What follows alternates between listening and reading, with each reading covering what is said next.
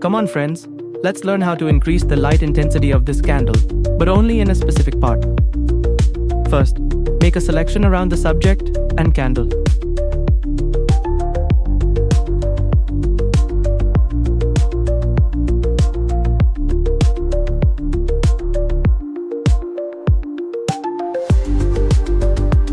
Then, go to Brightness, Contrast Settings.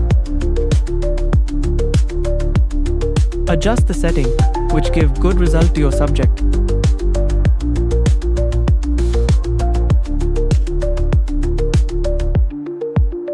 Now go to Mask Setting.